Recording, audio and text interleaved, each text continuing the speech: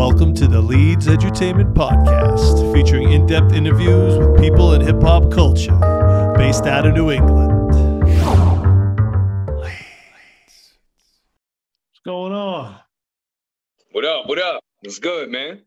How you doing today? Doing great, man. Doing great. That's great to hear. I'd like to welcome everybody to the Leedz Edutainment Podcast. We got a very special guest today, rapper. You wrote a bunch of other things. Uh, I was I for, totally forgot him. King, James Brown of the Underground. Give me another one. Give me another. Let me title you. Barbarian. One more time.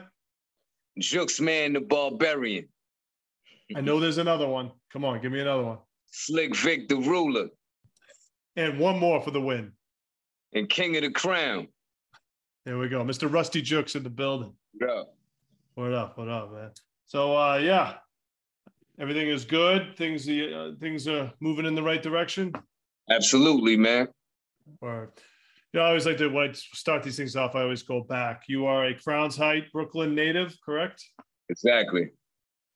What was your experience growing up there? Because I've talked to a few rappers from there, but I'm curious to your experience. Um, it, it, it was pretty rough, you know what I mean? But it was beautiful at the same time, man. Word. So it, it- I mean, as that's exactly what it was. It was it was rough, but it was beautiful at the same time, man. So I wouldn't even change nothing. It's kind of how I would describe your uh, your music.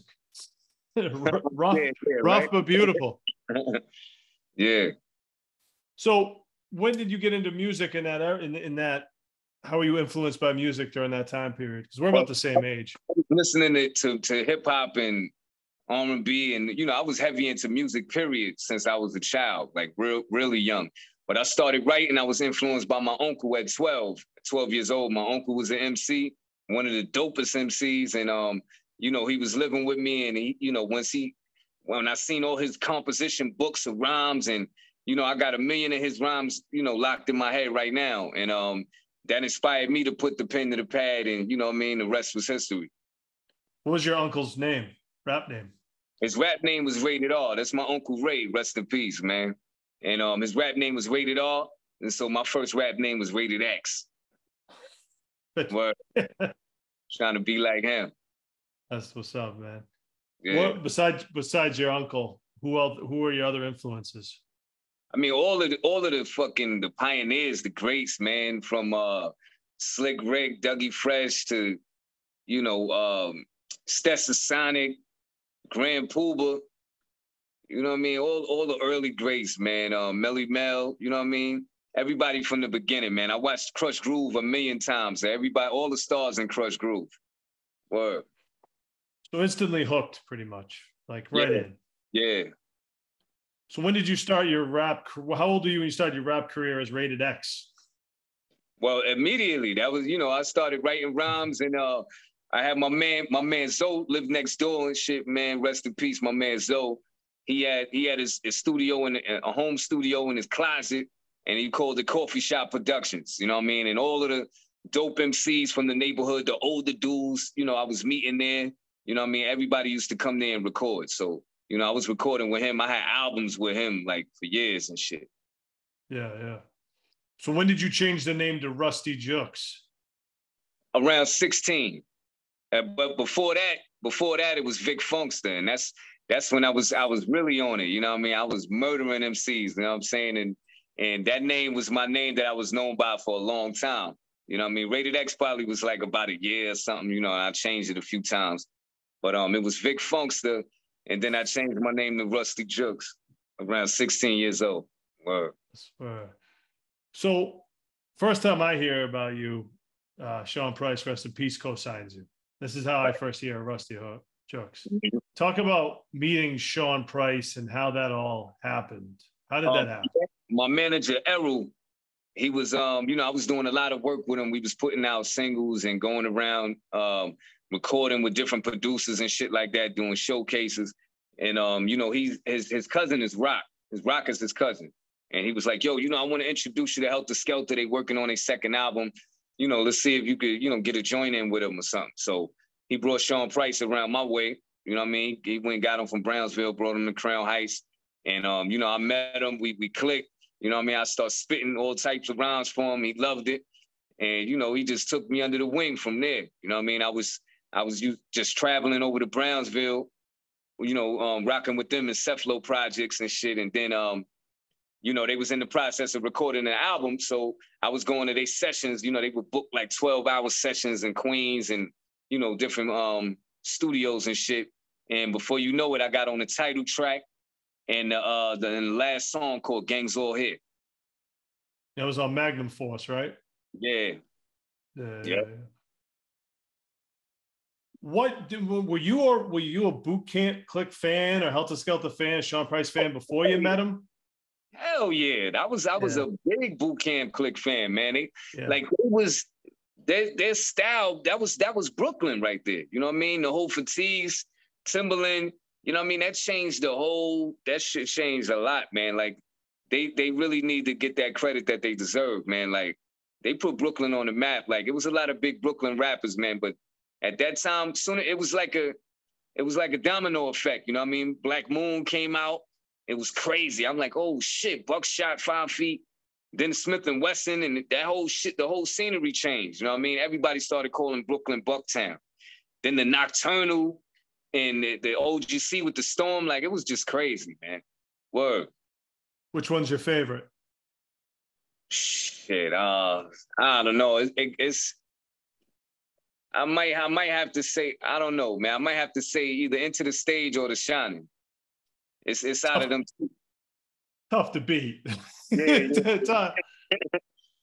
I don't know. So, so, you made you. I remember I, I saw you Sean Price was bringing you on some of his tour dates too, right off the beginning too, right? Yeah, man. I was, uh, you know, that's how I got my. um I, I, learned how to really perform, you know, dope, man. Like I was doing shows and shit, but like going on the road, it really, you know, it prepped me, it prepared me for the big time shit. You know what I mean? And um, he definitely took me everywhere. I got my passport probably like 2004. I was on, you know, going overseas with him. But before that, I was all in the States, you know, doing all the shows with him.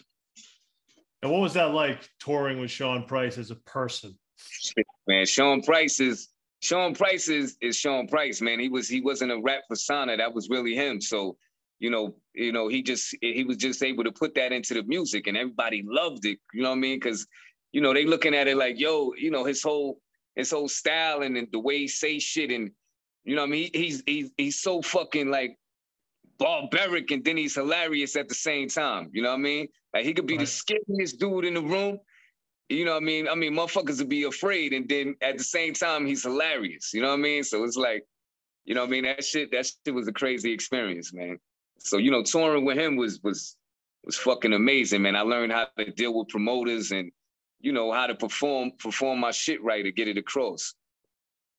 How did what did you learn on how to deal with promoters? I'm curious as a promoter not myself. To take, not to take no bullshit, man. Like Sean, Sean was was very serious about business, man. You know what I mean? And um, so I learned that early on, man. You can't you can't be acting like these motherfuckers is your friends. You know, everything is business. Feel that. You know, well, I, luckily I never had an issue with Sean. I did a lot of Sean Price shows. I did a lot, booked a lot of Sean Price shows, a lot of boot camp shows, a lot, all of it. Yeah. And uh, we never had we never had an issue because I was straight with my business. Um, right, right, right. We got along, um, and I and I, did see his his his funny side to him and whatnot. And uh, you yeah. were at a lot of those shows. Yeah, yeah. Was one of the was one of the first singles. I want to say one of the first twelve inches I heard from you was Vic Flair. Am I wrong on that? No, because I never put a I never put Vic Flair out as a single. I thought that was out. I thought that was out. What yeah. was one of your first twelve inches? My first, the first one was uh, "Live the Life." Maybe that's what it, it was. was a, it was, a, you know, it was featured on the Duck Down Presents compilation album. That's what it came out first. But then we put it out as a single, a 12 inch, and the B side was "Fall Back." It was a song called "Fall Back" that I had. So that was my first, you know, single single. For some reason, Vic Flair is sticking in my head. I don't know why. Did you used to do that live a lot? Is that what it was? Vic Flair, I did that in 2006. So that came later on. You know yeah. what I mean? live the life and, and, fall back was like uh 2000. Yeah. yeah. yeah. because I think that was one of, that was one of my um first big joint. That was my first video. You know what I mean? That was my first video, Vic Flair. And um, Maybe you know, that's what it was. that shit to this day. I'm gonna perform it this weekend in, in um, San Diego. That's what's up. So, is Indestructible? Is that your first technical album, or is that a mixtape? What was that? My first in album. regards to everything. Was it First technically an album? Yep. Because I wasn't sure because it said Sean Price presents, so I couldn't remember. Was it done? Because back then it was mixtapes, albums. Like putting a stamp on it, man. That's how they, you know, they labeled it. You know, when it came out, when it starts off with Sean Price, you know what I mean? Everybody going to check it from there instead of just coming out with Ruste Juxx Indestructible. You know what I'm saying? So that's what it was called. Yeah. So so backtrack one second because you just brought something up. Point I wanted to bring on. You knew Sean when he was doing strictly bef- Heltah Skeltah, correct? When, Right. Before he went solo. Right. That transformation, because I'm curious, you were right there. That transformation between him being in, you know, Heltah Skeltah, then the Sean Price character. Was that always there bubbling, or was that an intentional thing he did, or was it just a natural progression? I mean, well, it was, you know, he he he had to go solo. You know, he wasn't um he wasn't on the label. You know, they they kept Rock on the um I forget which label they was on, but um you know they kept Rock. Rock had a deal, and um so Sean had to go solo, and you know he just you know everybody knew him as Ruck from Heltah Skeltah, but he was always saying Sean Price or Sean in his in a song, so you knew what his name was already, and so you know he just went sh- you know straight with Sean Price. I forget the name of the first fucking single, man. Oh man. Like Mhm. that one set it off. And it was like, yo, like, yeah, he could keep. Oh, you unmuted yourself. You muted yourself. Hold up. Somehow you muted yourself. Somebody was trying to call in. So yeah, you know, when he when he did his first single, um, you know, that just set it off. Man. He just kept going and just get it kept getting greater and greater. Yeah, because it seems like the the Heltah Skeltah stuff was a little more chilled out, like for him, compared to what I've seen him become with Sean Price. It was a more aggressive, this bigger, larger than life character, whereas he was those. I don't know. It just seemed like he was he transformed a bit. You know what I mean? In my opinion, would you agree? Yeah, he just he just um he just evolved. You know what I mean? Everybody everybody evolved over the years, man. Word. and it all. worked, and it worked really well. He definitely did, man. Cause he was a whole new. It was like he was a whole new MC. You know what I mean? And that must have been crazy for you, though, right? Because you're right there, right? He's co-signing you. How did you feel about being next to this larger than life character? Like that I mean, must have been shit, that- crazy. yo, That was that was my big bro in real life, man. And um, you know, beyond the music. So he was always somebody I looked up to, and he always, you know, I mean, he he did everything he could for me. You know, what I mean, he put me in positions like shit that he did for me. Um, is still working out for my benefit now. You know what I mean? And um, so I, you know, what I mean, I oh, that's why I got so many songs. You know, what I mean, dedicated to Sean since he passed. I did like five, six rest in peace joints. You know what I mean? Yeah. And that cosign early, cosign early in your career must have gave you some good confidence of like, yo, Yeah, yeah, and it, and it also gave me the, you know, the the um the fan base that Duck Down has. You know, what I mean, they built a, a dope fan base over the years, and and I was able to, you know, be touring with him, touching the fans and shit. They be like, yo, you know, they they see me as you know affiliated with the greats. You know what I'm saying? So that shit definitely boosted my shit. You talk about duck down. Talk to me about the importance of them because you know we talked about fatigues and whatnot, but talk about duck down as the label and keeping the music going. Talk about the significance there because it's been powerful movement. Say it again. Talk about Duck down. yeah. Talk about the significance of duck down.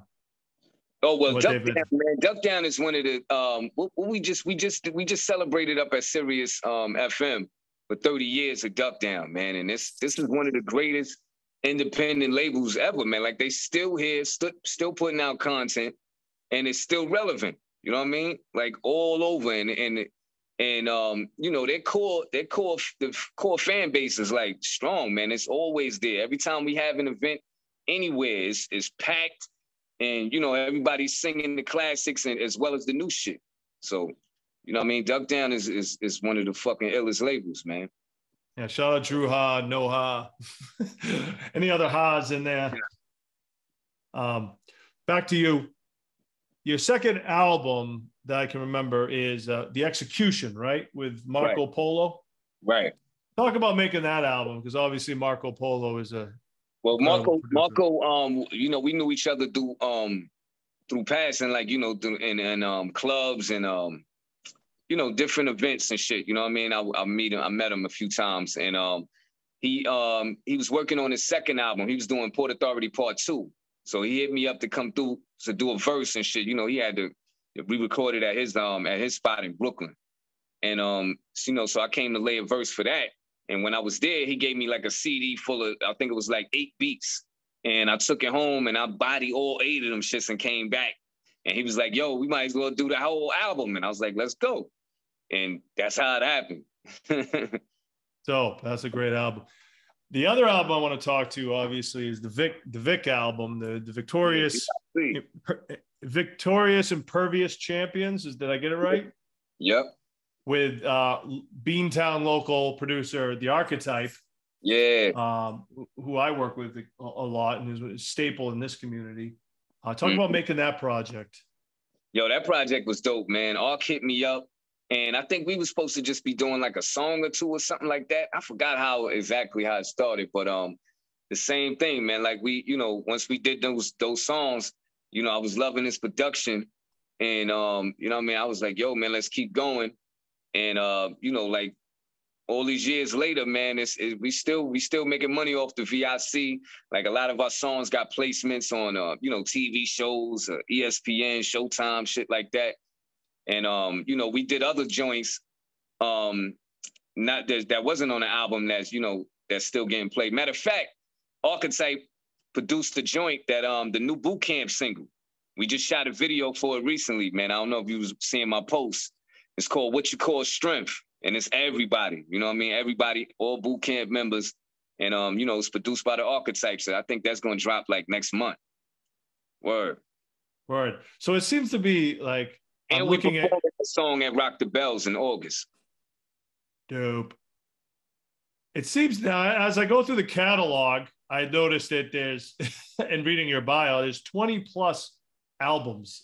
I can't, I'm not going to go into 14 years. Word. Now you talk about this relationship of like you, you work with a producer and he gets you a beat, sends you a bunch of beats, and then you end up taking like seven or eight beats, and you have a lot of collaborative pro- projects. Is that just how this goes for you? Like they send yeah. you a basically, um, you know, some some um, I mean, yeah, that's like with everybody that I work with, man. Like you know, some producers I could hear myself doing um, you know, a few songs off of, you know, when I hear a lot of their production and shit, you know what I mean? And I'm always I've always been a big Gang Starr fan. So I love the one MC, one one um producer concept, you know what I mean? And um, so that's what you know. Every album is a different feel. Is a di- put you in a different zone.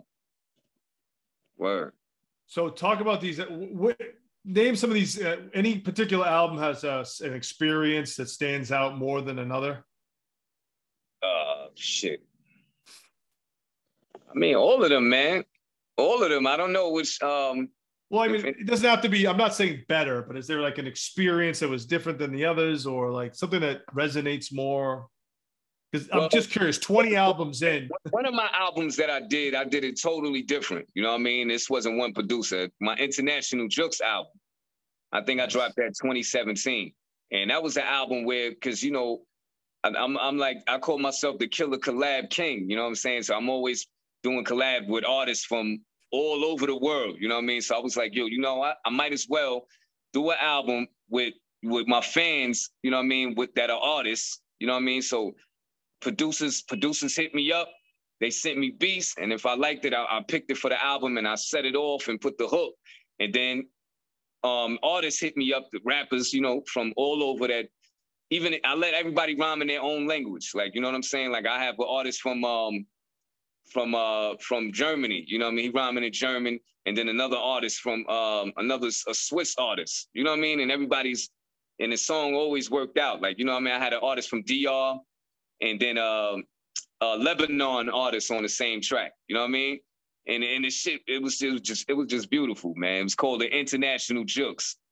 And so, you know, it was a win-win because everybody that I had on, I had like I had a, um two Nigerian, I had a Nigerian artist and a Senegal artist, and you know what I mean. It was just like wherever this, whoever was um you know, either the producer or the rapper, they're promoting it where they from.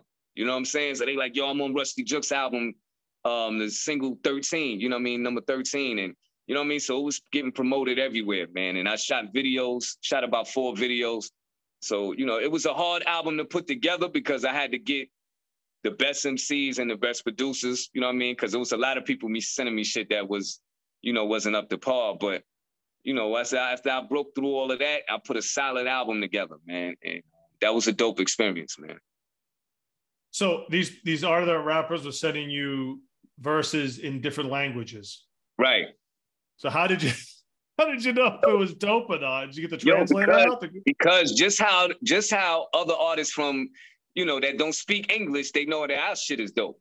You know what I'm saying? Like um, it was the Lebanese artist. Oh man, I, I'm, I'm, it's a song called "I Who Have Nothing," right?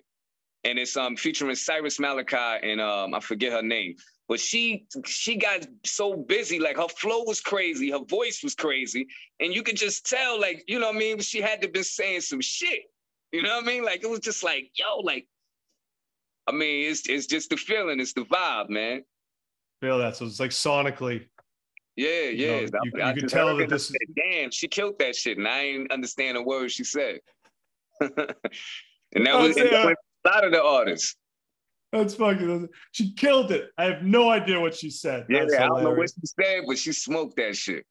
Word. you know, you're a very active MC. I mean, yeah. I hit I hit you up, you hit me back right away. Let's do this. Let's do the business, whatever. You know what I mean? Mm-hmm. And I feel like a lot of other artists ain't like that. Like I feel like you are like a working man's MC. Like you are just you're on it. Yeah, man. I'm hustling, man, every day, man. I I can't sit still. I got matter of fact, I got a new single talking about just that, man. A new single called Work that I'm getting ready to drop, produced by my man Free One.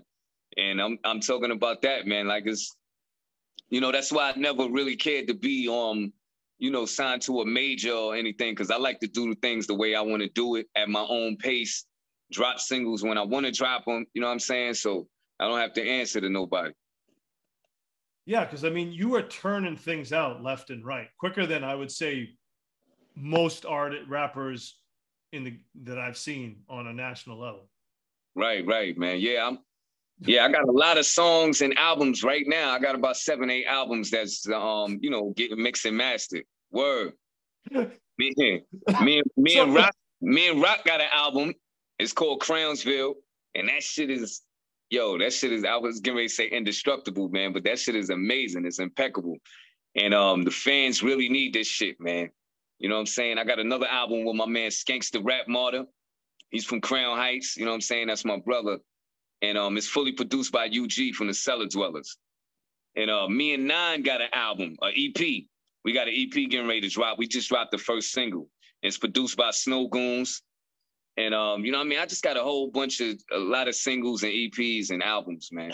Word. A lot is that you know, there's a lot, a lot of MCs that have a lot. You got a, a, a lot, a lot. yeah, yeah, yeah, nah, for real. And it's and they dope too, man. Like when when motherfuckers him, they gonna be this ain't no watered down shit. Word. Talk to me about your writing process, because I'm curious how you attack. Because you have to be quick if you're turning out this much music. Are you like? Yeah is it like you hear the beat and it's like 15 minutes, the verse is done, five, half no, hours? different? Sometimes I take longer than that. Um, you know, it just depends on what the how what the beat is and and what the concept is. If I come up with the concept, you know, I just let the beat tell me. excuse me. I just let the beat tell me, you know, wh- where I should go with it. Like if it's a battle rhyme or if it's a story, you know what I'm saying? I, you know, then once I come up with, you know, the concept, then I go into it. And some songs I read about something and you know, then I and then I go in, into that subject because I, you know, I read about a whole, you know, a lot of, you know, I get all the facts and details straight and then I put it in rhyme form. And um those songs always come out the best. That's dope. And uh, so you so you like try to read and research concepts and try to gain knowledge on situations. That's that's dope. Yeah, even when I even when I speak about guns and like if I say um, you know, like I, I bust something like a um uh, um, uh, Glock 19 or something. Like I read up on different guns that you know I don't say the average gun that everybody is say. You know what I'm saying? I'll read up on something and and, and put that in a rhyme and shit. You know what I'm saying? Yeah, because I would think that at this point you'd have a subscription to Guns and Ammo magazine, maybe. yeah, I used to do that. I used to look at, I used to read them Guns and Ammo shits, man. Word. yep. I want to go back to the boot camp reunion. Uh huh. That must have been surreal. Back 30 years later, everyone's sitting there. I saw I saw the the posts and everything, and, and Art yeah. told me he did produce the beat. And um, what's that like 30 years later? I mean, no, no, you weren't there oh, in the beginning. I mean, you were listening, but you weren't there. But what's that like? Everybody back in the same room. I'm I'm happy to be here, happy to be there and be involved with everything, man. And um, you know what I mean, still putting out that crazy content. I set off the new single so fucking hard, man. You know what I mean? And and and all my brothers on there bodied the song. And you know, we just, you know what I mean? I I never get tired of nothing, man. Every time I tour, every time I tour with them, do shows with them, and they go through the classics, like, you know what I mean? I'm there singing all of that shit. So, you know what I mean? It felt great to be a part of a, such a fucking phenomenal group. You know what I mean? Yeah. And where's it? And, and everybody, it's positive. Everybody's heads in a good space 30 years later and then we never and we never broke up. You know what I mean? We don't have no internal issues with you know what I mean. Everybody is good, man. So right. Uh, and um, I think this when this new single come out, man, the fans gonna really gravitate towards it, and um, you know they're gonna want more, and that's gonna push us to really you know do another boot camp project, man. Word. That's what's up. That's what's up. You know, we got the show coming next week. I appreciate you making an appearance there. Shout out Black Medine, XL the Beast. Oh yeah, yeah, it's going down on the 29th. Word up. Yeah, yeah. back. I'm your... back in the Middle East, man. I've been I've been there a few times, man. I think Word. the last time I saw you perform, you opened up for um Kweli. I think that was the last time. I was at the Middle East. Yeah, downstairs. Oh, it was shit. Middle... Yeah, well, yeah, that was a few years ago. Yeah, yeah. I think that was yeah, right that before was COVID. Man. Right before COVID. Right, right, right. Yeah, I remember that. So yep. you also you also refer to yourself as an international tour veteran. Yeah, you know where I came up with that from Primo. Primo said that in the interview, and it was from one of those magazines. And he was like, "Ruste Juxx is an international tour vet," and I was like, "Oh shit, word, I am." And then I just I started saying that shit. so, out of all the places you've performed all over the world, what are some of your favorite places? Uh, definitely France. France is always um my shows in France always are fucking like them shits is lit, man. Like you know everybody's saying lit right now, but them shits was fucking crazy, man. Every show. Um, Canada's always always dope, man. Canada, all over Europe, man. You know what I'm saying? All over Europe, all over Canada, um, in the States, but um, I don't, I don't think I have my best show yet, man. That's why I'm waiting to get over to Africa, man. I got so many fans out there um, really? in Africa and Australia. And um, I think I'm getting a. I had an African tour set up, man, but when that COVID shit came, it fucked everything up. I was like, damn. I had like five or six shows set up, but um, um, I got something. I got something coming up for Australia soon, man. So I'm gonna see how that shit work out. When you were gonna do Africa, were you gonna do like South Africa or like North Africa? What what? It was um. Well, it was um. Where, where, where was it? we had we had Senegal. I think it was um I think it was West Africa. Oh wow! It was a West African tour. I forget. That's crazy. I'm sure it'll happen eventually. And I heard Australia. I'm gonna get back out there. Yeah, sure. And Australia and New Zealand are usually pretty good markets for hip hop. Yeah, yeah. I gotta I gotta hit South America. I never hit South America. I hit. I've been all over Japan. You know, seven different parts. Um, but you know, we still I still got a lot of places to go. What was Japan like? Japan was fucking dope, man. Um, the food was good. The food was great out there. All of the shows was crazy, man. The fans was coming through with with um vinyls and rocking duck down shirts or Ruste Juxx shit. And um, I mean, it, it was it was a dope experience, man. I enjoyed it. I was out there for like 18 days and I had seven shows. So you know, I had a lot of off days with traveling or just chilling, and um, I had a good time, man. So what? So you know, you being the hard body MC, what are we ever going to get an R and B album out of Ruste Juxx? Yo, I mean, shit. If I if I do if I do something with some dope R and B artists, you know what I mean? I would love to do that. I mean, because that's what I listen to. I listen to R and B more than hip hop. Like serious. Yeah, I mean, yeah. I mean, singing and shit. You know what I mean? From the from the '70s shit to the '80s to right now. You know what I mean? So. Well, the reason I give it to you because you never really diverted from what made you great. Not you know you're a great writer, but what your style, I should say, mm-hmm. what made you great. You never diverted from yo. I'm a hard body, grimy. But you know what? I got a lot of I got a lot of different songs, man. Like if you listen, to, you know, go to um into the catalog like that, man, you'll find different songs, man. Really? And, and, um, and some of the albums I put, you know, I put this type of song. I got a lot of inspirational songs, man. Like a okay. lot of those. You know what I mean? A lot of those. Um, a lot of um, a lot of black power music. You know what I mean? A lot of that. I got a lot of that kind of music. You know what I mean? So it's not always hard body. You know, it's just it's just even when I do those type of songs, it's hard body too. So you know what I mean? It's, that's, that's what like, I meant. Yeah, yeah. So but you don't soften your tone. You might be talking about something else. I got I got like three songs about my wife that you know what I mean. Um, that that was dope. You know what I mean? I had a song called um Nothing I Won't Do with um Forever Chosen singing on the hook. And uh, you know what I mean? That was a smooth joint. You know what I mean? I put that out. That was on my James Brown and the Underground album. Word. That was produced by Amadeus 360, right? Right, right. Hell yeah. He produced the whole shit. Yeah, I had him on here not too long ago too. We talked about that. No doubt. Yeah. So, uh, what's next? Anything else in the future? What do we got? I know you talked about what you were working on, but anything else we should know uh, about? Man, just a whole bunch of a whole bunch of shit, man. I got new videos on the way. Um, I got a I got a, a song with my man Jay Mob. I'm getting ready to shoot the video for tomorrow, and um, you know, we getting ready to drop that soon. The boot camp single is on the way. Um, my new single with Nine is out right now and uh, you know, just a whole bunch of shit, man. Nine, dude. The, uh. the, shows, the show's coming up, man. I got the 29th, you know what I mean? Middle East.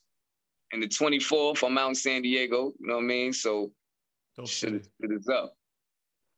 Word, man. Well, I really appreciate the time, Ruste, and um, look forward to uh, building with you more at the show next week on the 29th. No doubt. Middle East. Yeah. Word. I'm so I think tearing shit down, and I, and I'm a, and I'm gonna bring Vic Flair with me. Oh, Vic Flair's back in the building. All, All right. right. We'll end on that. I want to thank everybody for tuning into the Leedz Edutainment Podcast. A very special guest, Ruste Juxx, brother. I will see you soon.